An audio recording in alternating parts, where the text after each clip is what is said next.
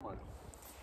Hello guys, my name is Anna and I'm from Ukraine and I vlog daily to keep you updated on the real life situation in my country as this war with Russia continues. If you're new to the channel and you will like my videos, please subscribe and share information because the world needs to know more about Ukraine, this unjust war and our future victory. I'm very grateful to all the comments that you leave for sharing on Facebook, Twitter and wherever you want because now is February and we all understand that the situation is getting harder both for Ukraine and for our allies, as Russia will definitely try to do something for the symbolic anniversary of their full scale invasion of war. Um, actually, today I'm outside, and I think that one of the most meaningful talks that people have are during walking, hiking, and that's my habit. So I have decided to take you outside. Perhaps this is the first real snow that we have uh, this winter, and it's not bad that this winter was warm, and I hope will return return to warm because it's easier for our soldiers. But the climate in my semi-safe zone of Ukraine in the west is different from the climate in the east and south of Ukraine, which is typically more colder and harsher. Uh, we're not far away from Lutsk. We are actually just on the other side of uh, the park in which I like to invite you for runs, talks, walks and introduction to Ukrainian squirrels. So this is just the other side of the river, which is considered an adjacent village to my city, but it is also a very interesting historical site which can be interesting for archaeological research, but uh, I like just walking here because uh, it seems like you're outside in the nature but you are very close to the center of the city. So let's return back to the topic that I want to discuss today and that is the next uh, full-scale serious attack of Russia that is expected. And we all in Ukraine have this feeling of deja vu like everything that was approximately in this time last year repeats today. And uh, I, I read a lot of emotional and uh, dramatic posts from people in Sumy and in elsewhere because uh, they see, they feel, they hear Russian troops, uh, Russian bombs and they, are very much afraid that the occupation that took place uh, at the beginning of March last year can repeat for them and uh, for, for example, Kharkiv region, some locations and so on. Of course, it goes without saying that uh, offensive Russian operations and counter-offensive Ukrainian operation they continue all the time, and we cannot say that uh, these actions, uh, military actions, will be resumed because nothing stopped.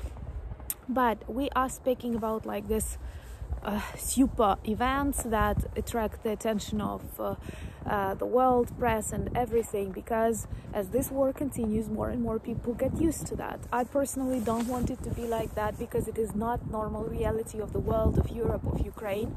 But even ukrainians have already adapted and we're talking about this like uh, serious things that uh, can change within uh, weeks and months.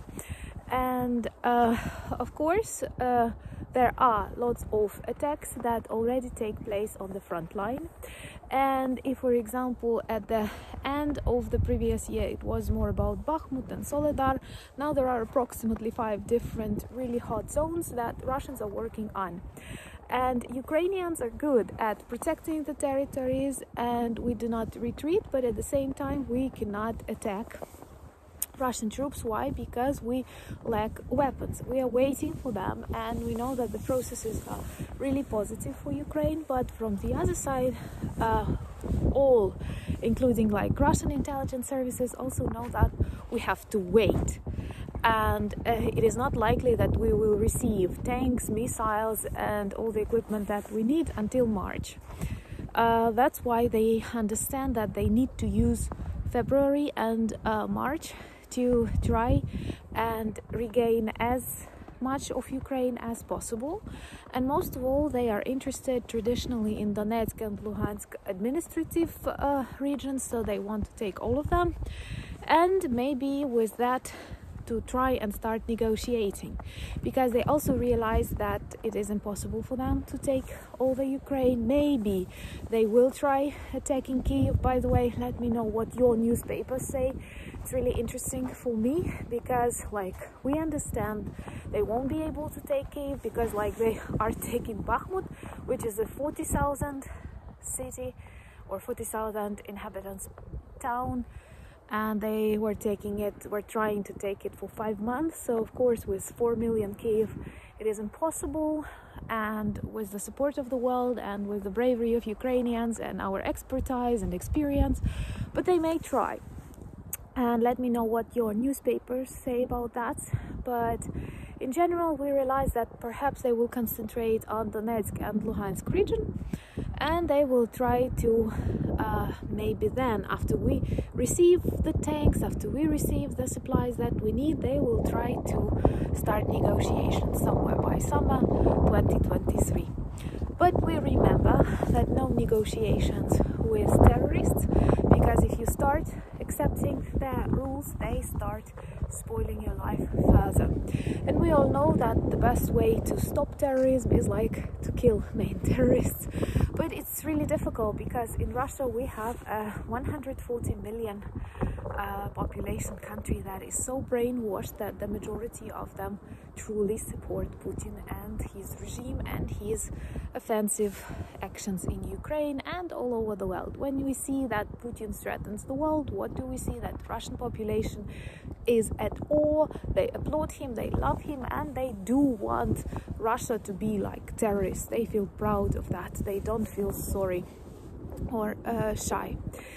Uh, anyway, uh, we are very attentive and we understand that from one point of view many uh, sources of media start manipulating like uh, attracting attention saying that new attack is getting ready. It goes without saying that there are lots of attacks that take place daily and this is the reality of ukraine. This is the reality of many ukrainian uh, villages towns and cities on the front line but perhaps they will try to make a show or something closer to the date of um, the start of this war i cannot believe it is already one year and that it is one year that i live in a country at war. I have always been like a normal european citizen and i have never expected i will have to go through that. But like it's awful how quickly human brain adapts. It's like both awful and really good because this is a survival instrument. Anyway let me know what do you think. What does your what do your newspapers uh, say also i want to thank you for the support that you demonstrate to my channel for your comments and advice for buying me coffees and becoming my patrons don't forget to introduce yourself to our soviet myths debunked episodes where we speak about old soviet propaganda myths that still fuel modern Russian uh, crimes. And the last one was about Soviet sports and Olympics. Slava Ukraini!